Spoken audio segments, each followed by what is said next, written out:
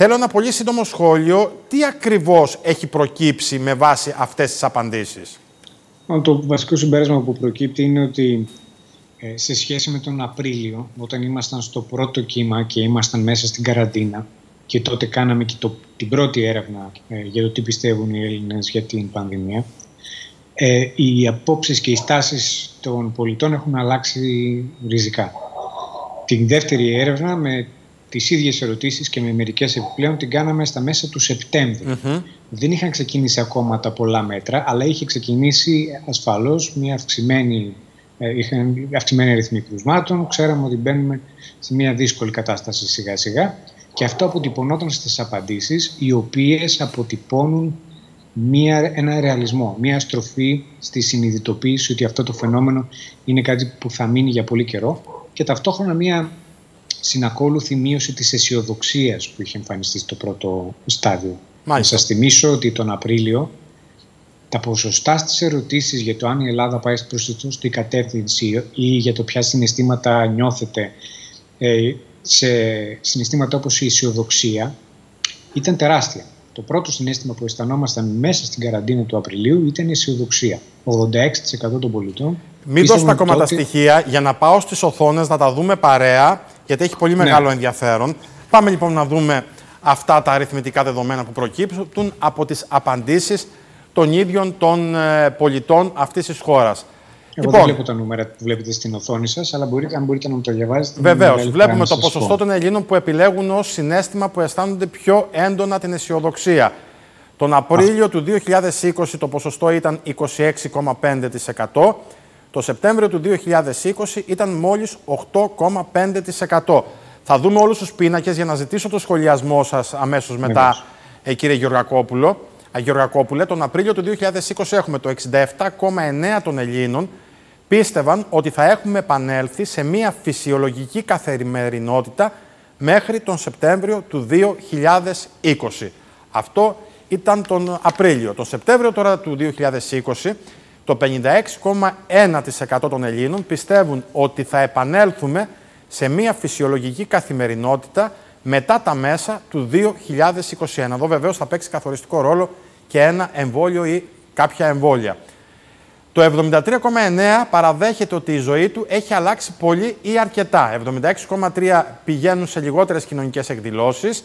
62,9% τρώνε λιγότερο συχνά σε εστιατόρια και ταβέρνες. 60,5 βγαίνουν σπανιότερα σε μπαρ. 59,5 ταξιδεύουν σπανιότερα με αεροπλάνο. 56% συναντούν λιγότερο τους φίλους τους. 54,3 ψωνίζουν σπανιότερα σε εμπορικά καταστήματα. 53,8 ταξιδεύουν σπανιότερα με πλοίο και 51,3% χρησιμοποιούν λιγότερο τα μέσα μαζικής μεταφοράς. Εδώ αντιλαμβανόμαστε πόσο πολύ επηρεάζεται και ο ιστός της ελληνικής οικονομίας μέσα από αυτές τις απαντήσεις. Οι μισοί Έλληνες δηλώνουν ότι φέτος το καλοκαίρι πήγαν λιγότερες διακοπές από τις προηγούμενες χρονιές. Ένας στους τρεις δηλώνει ότι στις φετινές διακοπές πέρασε χειρότερα εξαιτίας της πανδημίας. Είναι αυτός ο φόβος που υπήρχε. Πάμε στον επόμενο πίνακα. Το 57,2% εκτιμά ότι η ελληνική οικονομία σε ένα χρόνο από σήμερα θα βρίσκεται σε χειρότερη κατάσταση από ό,τι τώρα. Και αυτό βεβαίως το αντιλαμβανόμαστε και μέσα από τις προηγούμενες απαντήσεις που δίνουν οι πολίτες σε αυτήν την εξαιρετική έρευνα. Ποσοστό εργαζομένων που δηλώνουν ότι δουλεύουν κανονικά στο χώρο εργασίας τους. Τον Απρίλιο του 2020 ήταν το 25,4%. Το Σεπτέμβριο του 2020 το 72,7%. Βλέπαμε ότι η πραγματικότητα πλησίαζε το Σεπτέμβριο του 2020 περισσότερο σε αυτό που είχαμε συνηθίσει λίγο πριν τον κορονοϊό, βεβαίως με αρκετά βήματα. Ε, ποσοστό εργαζομένων που δηλώνουν ότι δουλεύουν με τηλεργασία. Τον Απρίλιο του 2020 ήταν 26,2%, το Σεπτέμβριο του 2020 ήταν 12,2%. Το 40,9% των πολιτών δηλώνουν ότι η οικονομική τους κατάσταση έχει χειροτερέψει από τότε που άρχισαν τα μέτρα αντιμετώπισης της πανδημίας. Και να πούμε κύριε Γεωργακόπουλε ότι εδώ είναι οι απαντήσεις πριν έρθουν αυτά τα αυστηρότερα μέτρα που βιώνουμε, που μάλλον θα βιώσουμε από αύριο ε, στα δύο επίπεδα που έχουν χωριστεί περιφερειακές ενότητες της χώρας. Ναι, ήταν στα μέσα του Σεπτεμβρίου. Ακριβώς, μέσα Σεπτεμβρίου. Και πάμε στον επόμενο πίνακα. Ποσοστό Ελλήνων που πιστεύουν ότι οι κοντινοί τους άνθρωποι, φίλοι, συγγενείς κινδυνεύουν από τον κορονοϊό. Τον Απρίλιο του 2020 το 62% και τον Σεπτέμβριο του 2020 το 67,4%. Αυτό είναι ένα ποσοστό που εθαρρύνει ότι η πλειοψηφία των πολιτών αντιλαμβάνεται ότι πρέπει να ακολουθήσει κάποια μέτρα. Βεβαίως υπάρχει και ένα ε, 38 με 33% που φαίνεται ότι θεωρεί ότι τα δικά του πρόσωπα δεν κινδυνεύουν από τον κορονοϊό. Πάμε στον επόμενο. Ποσοστό Ελλήνων που πιστεύουν ότι οι ίδιοι προσωπικά κινδυνεύουν από τον κορονοϊό. Τον Απρίλιο του 2020 το 23,7 πιστεύει ότι κινδυνεύει. Το Σεπτέμβριο του 2020 το 31,9% πιστεύει ότι κινδυνεύει. Βλέπουμε μια μικρή άνοδο σε σχέση με τις δύο χρονικές ε, περιόδους όπου έγινε η έρευνα. Ποσοστό Ελλήνων ηλικίας από 65 ετών και άνω που πιστεύουν ότι οι ίδιοι προσωπικά κινδυνεύουν από τον κορονοϊό. Τον Απρίλιο του 2020 το 33%, το Σεπτέμβριο του 2020 το 42%. Και αν υπήρχε σήμερα ένα εγκεκριμένο εμβόλιο από τις αρμόδιες ελληνικές και ευρωπαϊκές αρχές διαθέσιμο δωρεάν για όλους, θα το, θα το έκανε ναι το 49,5%, όχι το 41,9%.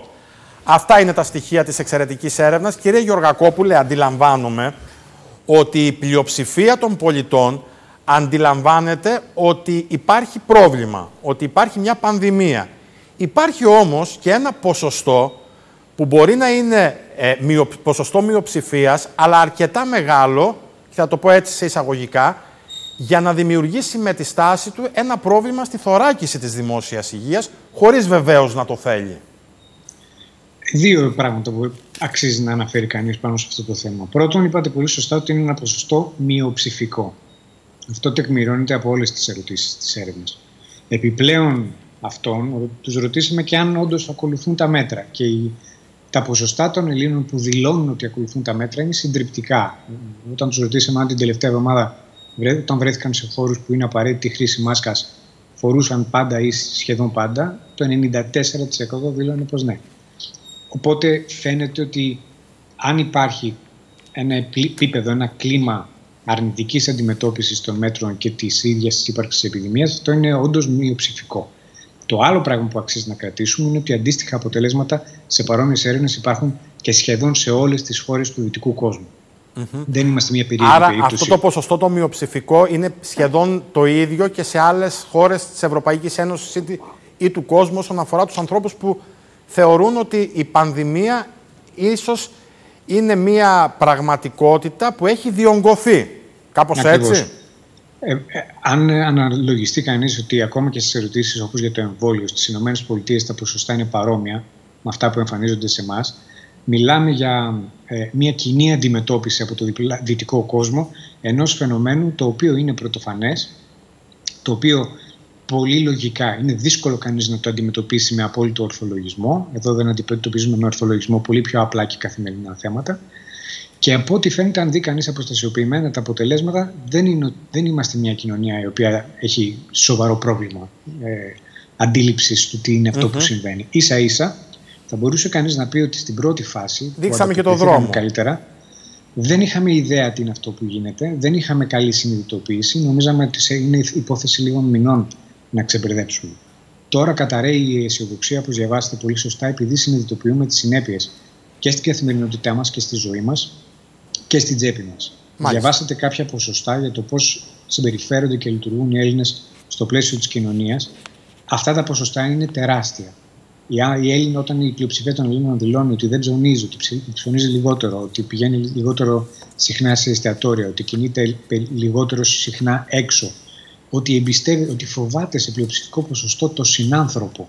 Ουσιαστικά, αυτά... κύριε Γεωργακόπλο, και συγγνώμη που σας διακόπτω, σε αυτήν την οικονομική δραστηριότητα, τη νέα οικονομική δραστηριότητα, βλέπουμε ότι ουσιαστικά το μειοψηφικό ποσοστό είναι αυτό που κινείται και περισσότερο στο κομμάτι των κοινωνικών εκδηλώσεων και των κοινωνικών επαφών. Αυτό, αυτό αντιλαμβάνομαι εγώ. Αυτό είναι σωστό. Υπάρχουν, και κοιτάξτε, υπάρχουν διαφοροποιήσεις και στα θέματα της ηλικίας. Mm-hmm. Μικρότερες ηλικίες φοβούνται λιγότερο. Πολύ φυσιολογικό. Μικρότερες ηλικίες βγαίνουν περισσότερο. Ε, αλλά αν τα κοιτάξει κανείς σε επίπεδο κοινωνίας, γίνεται σαφές ότι υπάρχει σοβαρό πρόβλημα. Το πρόβλημα έχει γίνει αντιληπτό. Η οικονομία πλήττεται και δεν πλήττεται από τα lockdown πλήττεται από την πτώση της ζήτησης όταν οι άνθρωποι δεν πηγαίνουν να καταναλώσουν έξω και το δηλώνουν και φοβούνται είναι προφανές ότι δεν μπορεί να λειτουργήσει η οικονομική δραστηριότητα όπως παλιά, είτε υπάρχει lockdown είτε δεν υπάρχει. Ε, και αυτό αποτυπώνει μια κατάσταση συνειδητοποίησης μεν, αλλά και πολύ σημαντικής αβεβαιότητας και ανασφάλειας. Αυτό συμπέρασμα που βγαίνει είναι ότι δεν είμαστε φοβικοί απέναντι στους ειδικούς ή τα μέτρα, αλλά επειδή έχουμε μια ανασφάλεια και δεν ξέρουμε τι θα μας ξημερώσει, αυτή η ανασφάλεια αποκρισταλώνεται σε κάποιο βαθμό και σε μια δυσπιστία. Την ε, πρώτη, στην πρώτη φάση είχαμε, ήμασταν αισιόδοξοι επειδή οι προσδοκίες μας ήταν πάρα πολύ υψηλές. Επειδή ακούγαμε ότι θα βγει το εμβόλιο, ότι μέχρι το τέλος του χρόνου θα γίνει το ένα, θα γίνει το άλλο, θα ξεμπερδέψουμε. Τώρα συνειδητοποιούμε ότι αυτό δεν ισχύει. Και έτσι από το 85% της εμπιστοσύνης στους επιστήμονες και τους τεχνοκράτες που ήμασταν τον Απρίλιο, τώρα έχουμε πέσει στο 65%. Τελικά, ε, αυτή η κόποση είναι και η υπέρβαση που πρέπει να κάνουμε, δηλαδή πρέπει να ξεπεράσουμε αυτή την κόποση για να εφαρμόσουμε πιστά αυτά τα νέα μέτρα που έρχονται; Ε, να το συνδέσουμε και λίγο με τα αποτελέσματα που παρουσιάσαμε. Ε, ένα που αξίζει να σχολιαστεί είναι ότι ε, υπάρχουν δεδομένα ότι οι κοινωνικοί δεσμοί και το κοινωνικό δίκτυο και η κοινωνική συνοχή της Ελλάδος ε, κινδυνεύει. Ε, και αυτό δεν έχει να κάνει με μειοψηφικά ή με πλειοψηφικά σχήματα. Και αυτό εμένα με ανησυχεί. Και νομίζω ότι πρέπει να το κουβεδιάσουμε. Ένας βασικός ιστός πάνω στον οποίο ε, ε, διατηρεόταν η υγεία σε καλά επίπεδα και στην Κρήτη αλλά και στην Ελλάδα ήταν το κοινωνικό δίκτυο. Που σημαίνει ότι πρέπει να το προστατεύσουμε και να το διατηρήσουμε. Ε, ο πανικός και ο φόβος το διασπά. Ακούσαμε τέτοια μεγάλα ποσοστά που πραγματικά αξίζουν ανησυχία. Ε, πρέπει να συζητήσουμε πώς θα ενισχύσουμε την κοινωνική διασυνδεσιμότητα, ε, να ενισχύσουμε το κοινωνικό δίκτυο και εδώ είναι ο ρόλος των συστημάτων υγείας αλλά και γενικότερα των θεσμών. Νομίζω ότι είναι ένα μήνυμα που θα πρέπει να το εξετάσουμε και θα πρέπει να το δούμε και ευρύτερα, πέρα από τα τεχνικά ζητήματα που αφορούν την πανδημία.